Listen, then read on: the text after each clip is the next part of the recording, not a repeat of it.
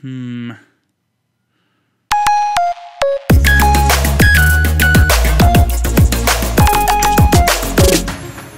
Okay, I'm sure you've seen it by now, but Sony have officially revealed the new PlayStation 5 controller.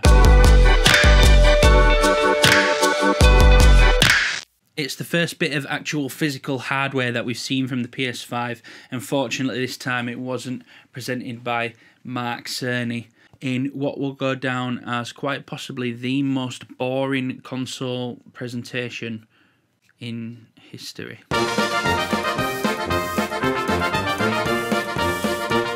Thank you for your time today.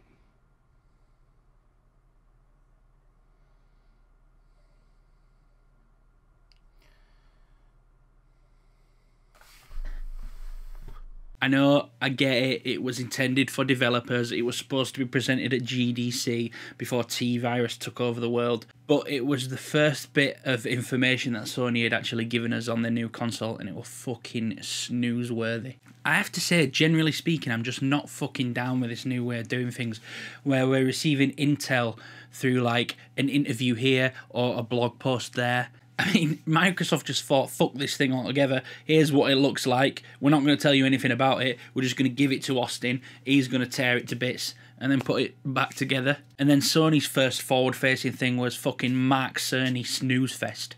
Thank you. Where's the fanfare gone? I want a room full of people, fucking lights burning my retinas, crowds cheering. I want to be like, shit, tonight I need to cancel all my plans because Sony are revealing their, their brand new console. I know we can't do that shit right now in current circumstances, but what did we get instead? Oh, guys, the new controller's ready to reveal. How should we do this thing? What about a YouTube live presentation? What about like a sleek as fuck video? Why don't we give one to SpawnWave and just let him fucking rip the thing apart? No, I've got it, I've got it, I've got it. Let's do a blog post. Okay. Shall we put a video in there? Nah, nah, nah. Just words. The fuck? Do you want us to be excited? Like, this is like the user manual of new tech announcements. Anyway, scraping back the questionable way that Sony are announcing these things, we get to the real meat of this announcement, and it's actually pretty cool. It's this thing, the DualSense. So they've ditched the DualShock name. We were, I guess, expecting DualShock 5, and they've gone with DualSense. And I suppose that's in line with this sort of push to video game immersion that Sony are going with for the PS5. I'll be honest, when I first saw this thing, I wasn't fucking amazed. It kind of looked to me like a third party weird Wish controller or something like that. But the more I inspected this thing, the more my mind was changed on it. Firstly, when I hold the two current gen pads in my hands, there's a clear front runner out of these two, and it's this one. It's the Xbox One pad. This just feels much nicer in my hands. It's bulkier, it's got more weight behind it, makes it feel like a good piece of tech. And it's a shame because out of the two current gen pads, I spend way more time with this one in my hand. Not that this is a bad controller or anything, but looking at the new DualSense, it kind of looks like they're leaning more towards the size and shape of the Xbox One pad if you take a look at the curvature on the top and sides of the DualSense, you can see that they curve outwards like the Xbox One pad. The shoulder buttons are now slightly angled, which I like. I think that'll be more comfortable. And the analog sticks are now housed within the pad itself rather than the weird, uh, googly, dangly bits. Here's one thing I want to mention though. I do think that the uh, DualSense is probably going to be slightly smaller uh, than the Xbox One pad. As expected, Sony have stuck with the two analog sticks side by side and the D-pad up top left. Xbox obviously flip that round and they go with the analog stick top left and the D-pad down here. Having that there is what allows the Xbox pad to be bulkier and meatier because if you take if you take this pad and imagine the analog stick being there, you feel like it just makes me want to fucking throw up. To be honest with you, I feel like I'm stretching to get to it. It just feels way too uncomfortable. PlayStation combats this by having their grips being way daintier and smaller, so that when I'm holding the pad, my thumb comfortably sits over the analog stick anyway. So since they're sticking with the left analog stick position, you can assume that they're going to stick with those dainty legs. Haptic feedback. What's this? It feels like something shaking in a glass. Welcome to Gadget or Gimmick. Today we're discussing haptic feedback. I don't know what to say about this one really. Do I give a shit if my pad has the ability to feel like it's got ice cubes rumbling around inside it? Not really. I mean, I'm sure there's a lot that I don't know about this technology and its endless possibilities, but it's just one of these things, isn't it? It's all good and well it being there, but only if the devs are going to actually fucking use it. There's no better example of this than Nintendo's revolutionary haptic feedback Joy-Cons. They don't fucking do anything outside of 1-2-Switch i'm not sitting there on other nintendo games and being like wow this this feels real. This is complete immersion. I'm not feeling the different terrains that i drive on in in mario kart and that's apparently what this thing can do. There's a funny bit of the blog post. It says we had a great opportunity with PS5 to innovate by offering game creators the ability to explore how they can heighten that feeling of immersion through our new controller.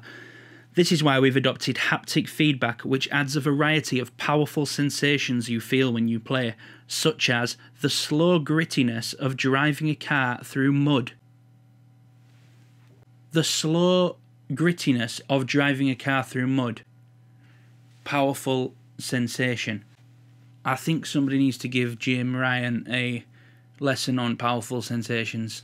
I mean, we've seen this time and time again. All these new technologies that come with new consoles that are going to give you an unprecedented level of immersion in your gameplay that the devs just do not get behind and then they just fall by the wayside. I'm not ripping on this feature, like, I'm happy it's there, but I want to be happy it's there in the same way I'm happy that, like, fast food delivery exists, and not in the way that I'm happy that I have an exercise bike in my dining room. I'm happy that they both exist, but I feel the benefit of one much more than the other. Some of the things to talk about then the light bar. I love lights. I love shit that lights up. But whoever's fucking idea it was to put the original light bar on the back of the controller where nobody can see it. just- eh. Needless to say, I'm happy they've moved it to the front now and it illuminates the touchpad. Welcome back to Gadget or Gimmick. Today's topic is the touchpad. Okay, so I shouldn't need to tell you this one, but this is definitely a gimmick. So far, anyway. I guess Sony decided that they like the touchpad and I can still see its value. But like we discussed earlier, it's one of those things that devs have just thought, nah, can't be fucked doing anything with that. I can see why devs creating games for multiple platforms might think I haven't got time for that, especially when the features won't translate onto the other platforms. But what about Sony's in house development teams, the ones that specifically develop games for the PlayStation? Why are they not forcing those guys to use it? Like, make sure that you use this fucking touchpad. Make sure that you do something with it because it's it's sat in the middle of the fucking controller. If you're gonna stick with it, make them fucking use it. Make them do something with it.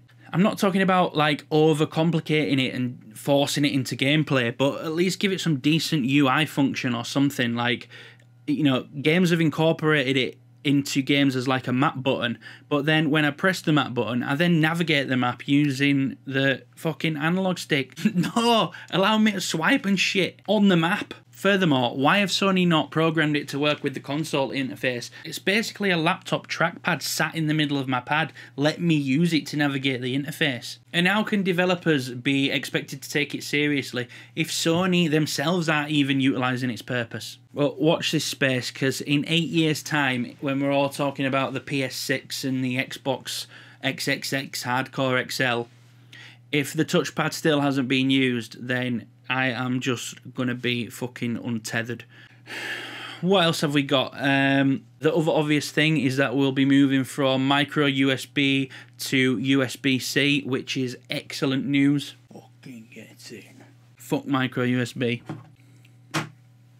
In the blog post, Sony actually acknowledged that they've taken into consideration battery performance, battery life, um, but we didn't get any actual figures on that, so it'd be interesting to see um, what kind of life we get on this thing. The PlayStation button is now a cut-out version of the PlayStation symbol rather than the circular um, button that we have on the PlayStation 4 pad. I think it looks cool. They've kept the speaker on the pad, which again didn't get used much really, but when it did get used, I thought it was a nice feature. I liked it. So I'm definitely not opposed to it being there on the DualSense. They've added a mic to the pad.